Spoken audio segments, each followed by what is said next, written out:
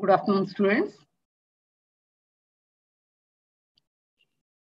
Yesterday, we have uh, seen uh, threats to biodiversity, that is the evil quartet. Here, uh, we have discussed about uh, habitat loss and fragmentation, that is uh, nothing but uh, uh, deforestation, then uh, conversion of uh, forest land into agricultural land, pollution, fragmentation, all these ones we have discussed. So here, uh, just due to deforestation, uh, habitat for uh, many organisms will be lost. And even uh, this forest, if it is converted into agricultural land, the same thing will happen. That is, the organisms which are depending upon the forest uh, flora will die. And uh, due to pollution that is caused by human being also, naturally the biodiversity will be lost and even uh, fragmentation also. So fragmenting the uh, habitats by human beings. If it is uh, generally done, uh, naturally done, that is geological fragmentation, naturally it will enhance the speciation. But if it is done uh, due to the human activity, then uh, biodiversity will be lost. Okay, so that is about uh, habitat loss. Uh, and coming to overexploitation, if need turns into greed, then ultimately it will be taken as uh, overexploitation. And uh, here, if we are uh, utilizing the natural resources up to our need only, then it will be quite uh, nice. But if it is uh, changing into greed, then over exploitation will occur. And for example, here, marine fishes that are uh, seen in uh, seas and oceans, if they are uh, utilized as per our greed, then naturally these ones will be endangered. Okay. So by utilizing the uh, mechanized boats and nylon nets, generally uh, fishermen will be catching uh, these uh, fishes. And in that area, these uh, fishes will become endangered. Okay. So only up to our need only, we have to utilize uh, the natural resources. So that's about uh, over exploitation. And coming to the invasive alien species, that is uh, invasion of uh, alien species. So the alien species means the species that are not belonging to that particular area. Okay. And if they are introduced uh, from other areas to our area, naturally the uh, organisms which are inhabiting in our area have to die or have to move to other places. Just because of uh, the domination of uh, alien species, a good old uh, uh, species cannot uh, exist in that particular area. For example, yesterday I told you the Hyderabad pigeon, so which will be of ash color and they will be seen throughout the bus stands, then railway stations. Mostly, uh, if you observe uh, MGBS that is in uh, Hyderabad, lots of Hyderabad pigeons will be seen. So these ones, since they came from outside to our area, these ones have uh, uh, driven away the crows that are seen in that particular area. And even uh, coming to the plants, that is uh, nothing but water hyacinth, eichhornia. Okay, so this one also has uh, uh, made other aquatic plants to die because of their vigorous growth. The whole water body that is uh, uh, seen in uh, um, Hyderabad area, Tank Bund area, all these ones, you can see the water hyacinth, that is eichhornia, which will be growing enormously. So due to the entry of that, natural plantation has been lost. Okay, so that's about the thing. And even uh, uh, Parthenium also can be given as example. Okay, from uh, foreign countries, uh, Parthenium, that is uh, in Telugu, it, it, will be called as Vayaribhama. Okay, so that one also uh, has invaded our areas and wherever you go on the um, agricultural land bunks, bunds, rather to say. Uh, you can see this uh, Parthenium. Okay? So enormously it has grown. So that's about uh, the invasive alien species. And coming to the zoological uh, examples, Nile perch, it is uh, uh, introduced into Lake Victoria, which has led to the extinction of 200 species of cichlid fish in that lake. Okay, so this is uh, the top uh, one is uh, Nile perch. And coming to the African catfish, Clarias gariepinus. It is also considered as exotic African catfish and aquaculture purpose posing threat to the indigenous catfishes.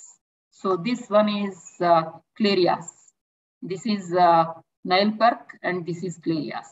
Okay, so like this, uh, introducing or introduction of uh, uh, species into our area will uh, uh, cause damage to the previously seen organisms. Okay, so like that here, uh, invasive alien species will cause damage to the other species. And uh, coming to the last uh, fourth one, that is co-extinctions. Here, uh, actually, an association will be there between uh, plant and animal. So that type of uh, association is so strong enough that if the plant becomes extinct, even animal also will become extinct. Okay. So like that here, uh, the co-extinction will work out. And it is seen in even in uh, parasite and host association also. Of course, you know very well, parasites will be taking habitat as in the host body. And if uh, the host becomes extinct, naturally, the parasite also will become extinct. Okay. So the same thing uh, can uh, be seen in plant pollinator mutualism. If a plant becomes extinct, then naturally, even uh, if a pollinator become extinct, naturally even a plant also cannot uh, uh, flourish. Why? Because if pollination is not occurring, naturally you can't expect the production of uh, seeds, fruits and seeds, is it not? its uh, dispersal also will not occur and uh, thereby the plants will not uh, uh, flourish in number. And ultimately, if uh, the parent plant is uh, dying, then that results in the um, extinction of that particular species of plant. Okay? So this is about the co-extinction. That means here, these co-extinctions can be explained when the organisms are of uh, uh, living as obligate associated ones. If the plant and the animal are uh, uh, associated, then if one organism is dying, then naturally the other organism which is depending upon it also will die. Okay, so that is about uh, co-extinctions. And these are uh, the four uh, evil quartets. Okay. And coming to the biodiversity conservation, here uh, this can be explained as in situ biodiversity conservation and ex situ biodiversity conservation. In situ, in the sense actually here uh, protected area, uh, these ones uh, are uh, taken as examples in the sense national parks, then wildlife sanctuaries, then uh, biosphere reserves, sacred groves, then uh, uh, sacred lakes, all these ones are taken as examples for uh, in situ biodiversity conservation. Whereas ex situ biodiversity conservation places are uh, taken to be botanical gardens, then zoological gardens, aquaria, nothing but aquarium. Aquaria is uh, plural, okay? Then uh, uh, seed banks, okay? Cryopreservation, home gardens, all these ones are taken as uh, exit. In the sense, taking out from uh, their natural habitat will be taken as uh, exit. Okay, and uh, coming to the study of uh, one by one. Here, uh, the differences between wildlife sanctuaries, biospheres, biosphere reserves, and uh, national parks. So, how these ones are differentiated. Coming to the wildlife sanctuary, restrictions will be less. Okay, and uh, preserves uh, animals, insects, birds, etc. Whereas the biosphere reserves, moderate restrictions will be there. Then uh, it uh, protects the biodiversity of uh, designated area. Okay, and coming to the national parks, here uh, heavy restrictions will be there, and uh, flora and fauna, historical objects will be kept in that uh, national park. Okay, so this is uh, considered as uh, category two of protected area. Okay, and you can see here the wildlife sanctuary, then biosphere reserve, then national park. Observe here how wildlife sanctuary, natural uh, things will be there, plantation will be there, hillocks will be there, and rocky area will be there and all the organisms will be living very freely. Okay. And uh, see here, national park. Okay. And uh, the organisms will be provided with uh, uh natural habitats, flora, fauna, landscapes, and historical objects will be kept in uh, national parks. And coming to the biosphere reserves, see here. Okay. So all these ones are taken to be the uh, ones, examples. Okay. And coming to the Indian biosphere reserves, these are the areas wherein you can find in India. Okay. So the flower mark ones are biosphere reserves. Flower mark within a uh, circle will be taken as included in UNESCO World Network. Okay. Only these ones are uh, uh, included in uh, UNESCO. So here, uh, this one, uh, Simlipal, then uh, Panchmadi. Okay, and if you come to Telugu area, that is uh, Seshachalam, is uh, considered to be the biosphere reserve. And uh, Nilgiri is considered to be the biosphere reserve, but considered by UNESCO. Okay, so like that throughout our uh, country, many biosphere reserves are there. Mostly these ones are uh, uh, accumulated in uh, the uh, eastern area.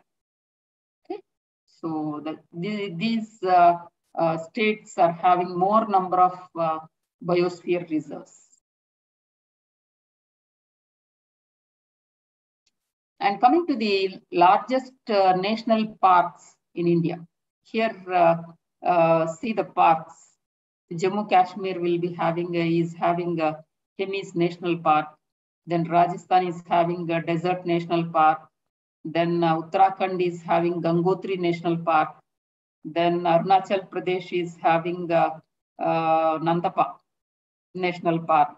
So like this, here uh, many national parks are there. Chhattisgarh is having, then Gujarat is having, West Bengal, Uttarakhand, all these ones are uh, taken to be the uh, national parks in India. And uh, so many organisms are uh, uh, protected in these uh, national parks. Okay. And coming to the sacred groves of India, these ones are forest fragments of varying size which are communally protected and which usually have a significant religious connotation for the protecting community.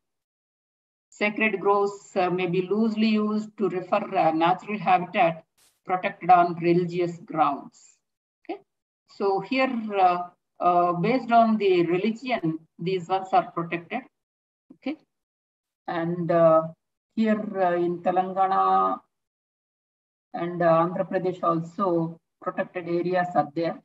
Okay, throughout the country, at least one for state is uh, protected sacred groves.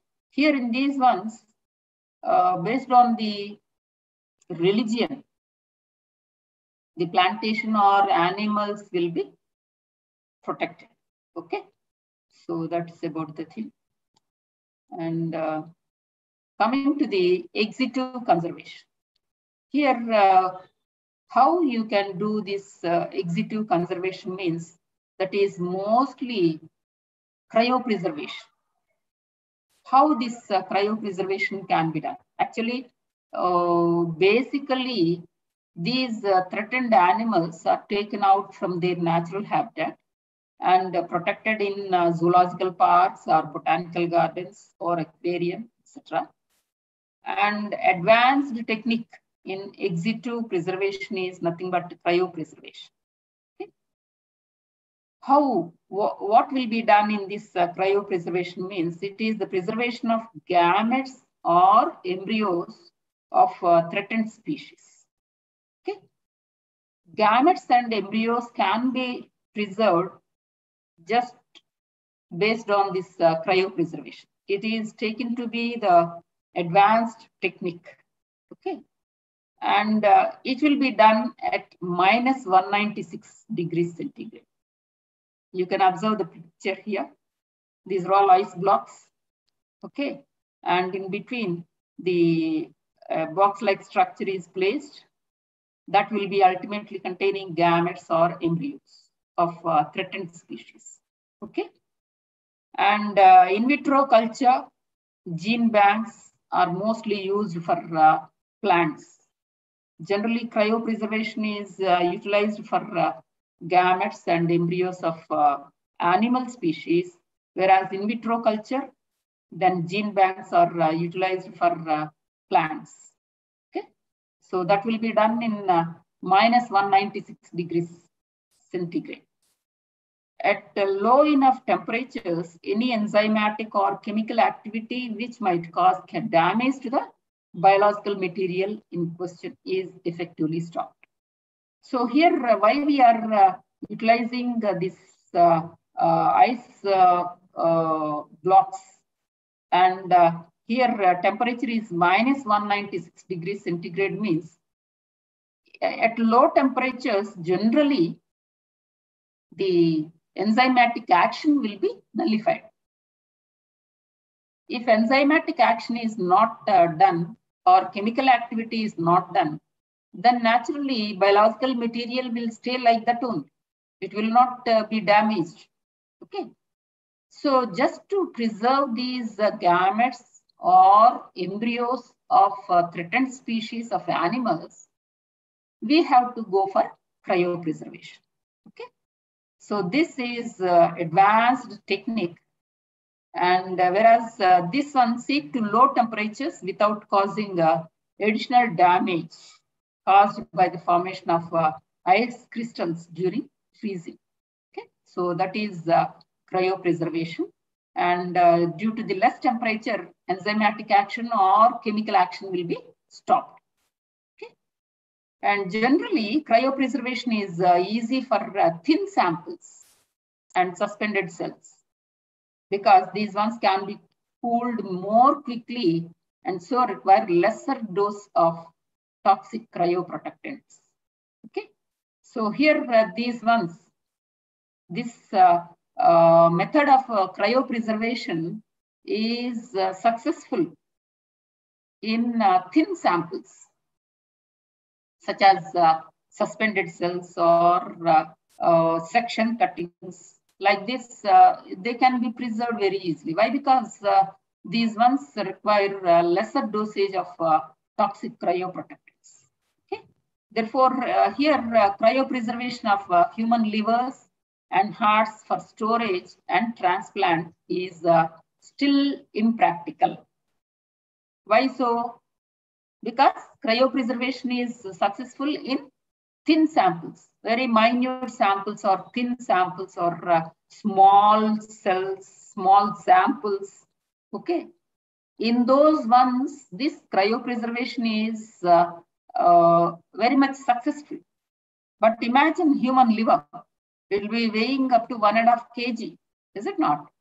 And uh, heart also, just uh, at least uh, three to um, 500 grams of weight also will be there. Is it not? Depending upon the age, of course. Here, fully formed human liver will be occupying uh, up to one and a half uh, kg. This type of uh, heavy and big structures cannot be preserved. Why? Because the cooling effect will take a longer time.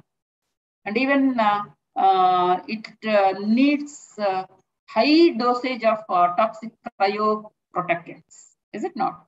That's why till now cryopreservation of uh, human livers and hearts are uh, not uh, done.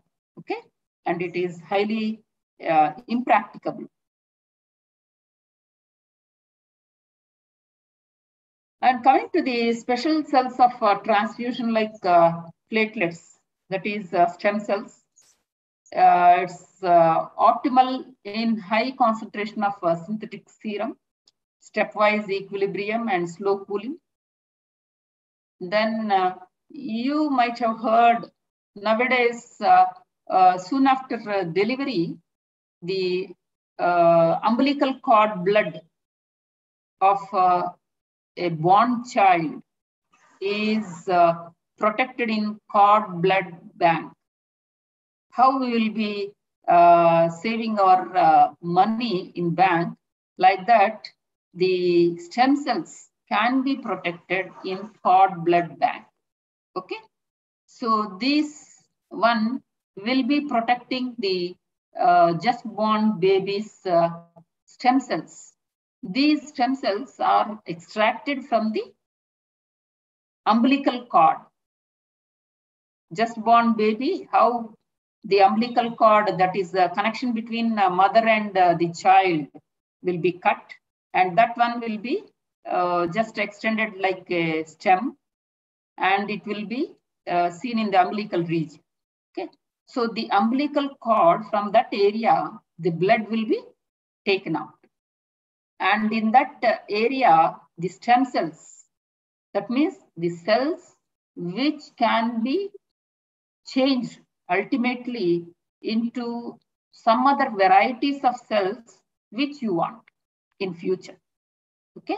Suppose if you take uh, umbilical cord blood, which is containing uh, uh, stem cells and protect in cord blood bank, in future, if the child, after uh, the child's growth, if that child is uh, uh, has lost one organ, for example, and these stem cells can be taken out and they can be activated and can be made into that organ and can be uh, placed in uh, child's body.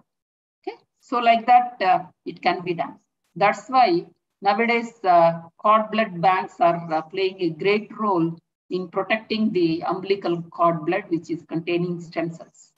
That means by utilizing these stem cells, what is actually stem cell? The cells are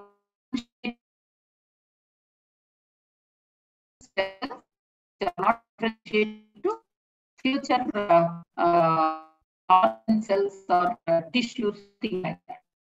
By utilizing these cells, we can we can uh, uh, or we can uh, form the and even organs also which you want in future. For that purpose only, cord will be protected in blood bank. Okay. And uh, here, tissue samples like uh, tumors and histological cross sections also will be done. And uh, eggs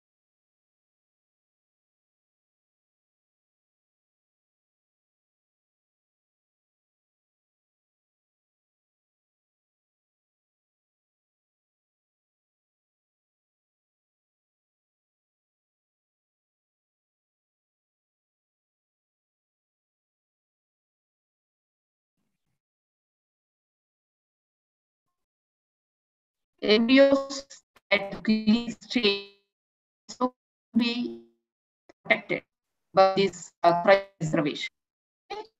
And uh, if anybody is uh, having problem with oocytes, can uh, preserve these eggs in these uh, uh, uh, in this process that is uh, cryopreservation.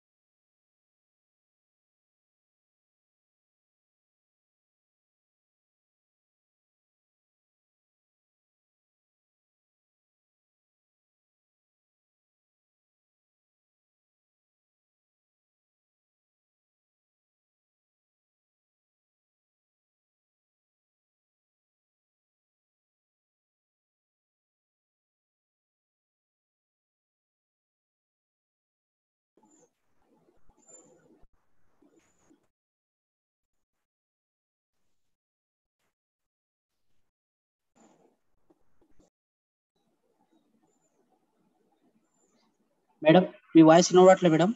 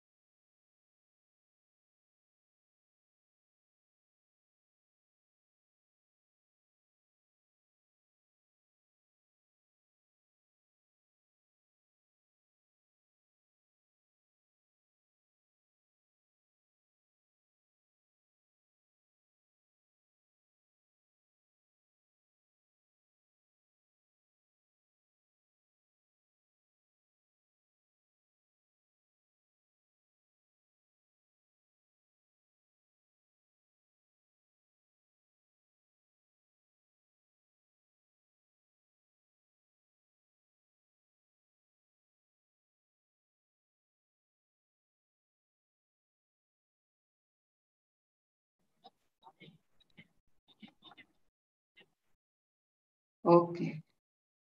చాలాసేపటి నుంచి ఉందా sir?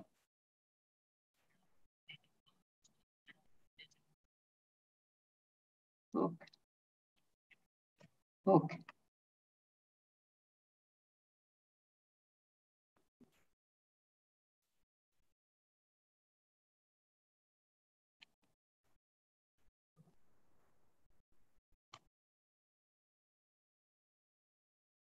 So coming to this uh, uh, assignment here,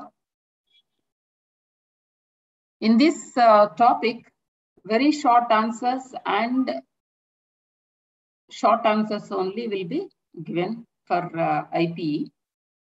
And uh,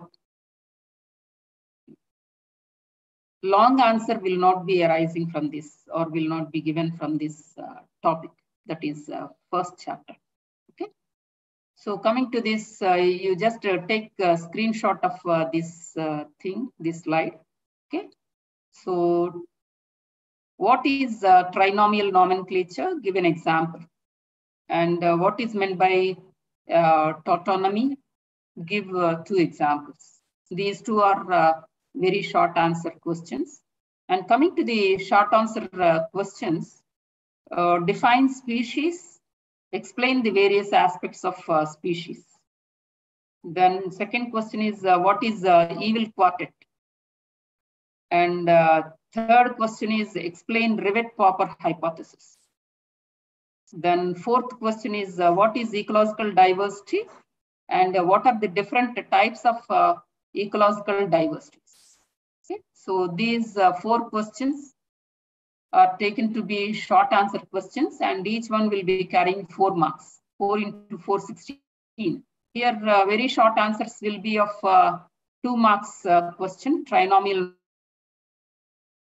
and uh, tautonymy, just uh, one line or two lines, is it not? So here, uh, these ones, each one will be carrying two marks, okay? Two twos or four. So ultimately, for 20 marks, assignment is given for you students and uh, just uh, you have uh, um, participated in the sense you have listened the class, the whole topic, is it not? I think you will be able to answer these questions. But be sincere in writing. Uh, don't copy down as it is uh, from the textbooks by opening them you just if you want to write it uh, perfectly uh, you can read or go through the textbook once and then uh, uh, by closing the textbook you can write down the answers. Okay? Take uh, separate uh, papers a4 size papers and then write down and keep it with you. When you physically attend the college you can submit them to your concerned lecturer. Okay, so that's about uh, the lesson. And uh, we'll discuss now uh, some of the NEET questions. So here, compared to genus, which of the following is having less general in characters? Okay. So family, species, division, class. Okay. So less general characters will be seen in species. Why so? Here, uh, after genus, species only will be there. Genus will be having number of uh, species, is it not? So less general characters will be seen only in species.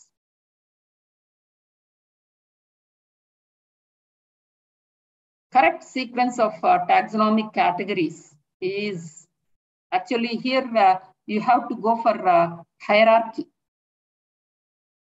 Species, genus, order, phylum. Or species, order, genus, kingdom. Genus, species, order, kingdom. And none of these. Answer is generally A. Why? Because uh, you have to recollect the hierarchy. Okay. Species, genus, order, phylum.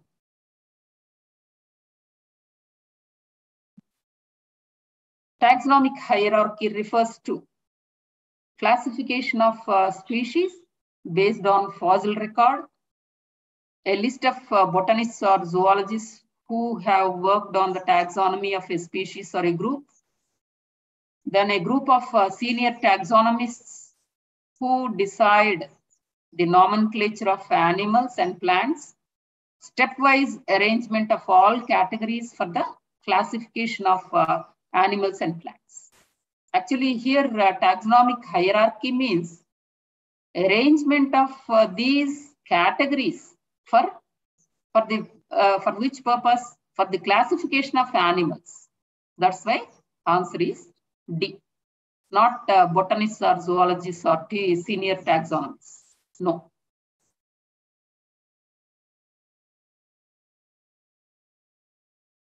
Which one of these categories has uh, real existence? Okay. Species, genus, kingdom, phylum. Actually, real existence is seen with species only. Okay. A true species comprises of uh, population of uh, interbreeding, then uh, sharing same niche, reproductively isolated, feeding over the same food. Which one will be correct? Reproductively isolated, which can interbreed.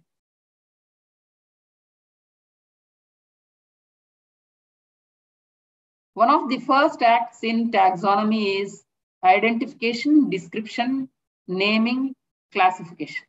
The first one is identification. You have to identify the organism. Then only you can do other works.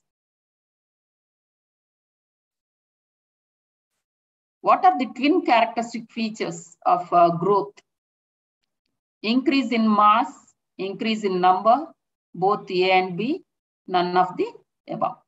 Here, uh, uh, twin characters of growth is nothing but uh, increase in mass and increase in number. That's why A and B. C is correct.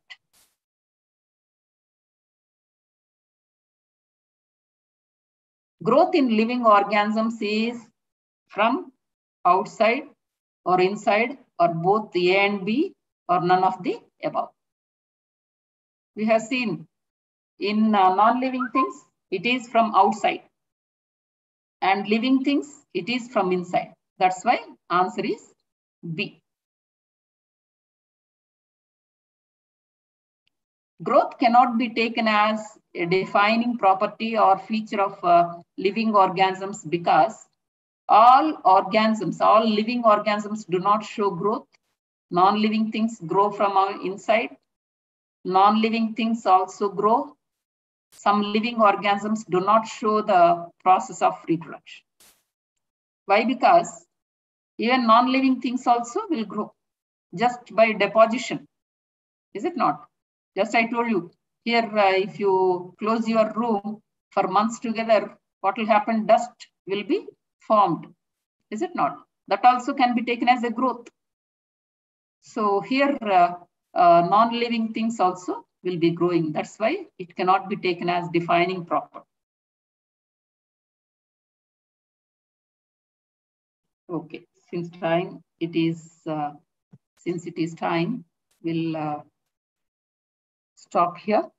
Okay. And uh, hope you all will uh, uh, do your assignment. Thank you.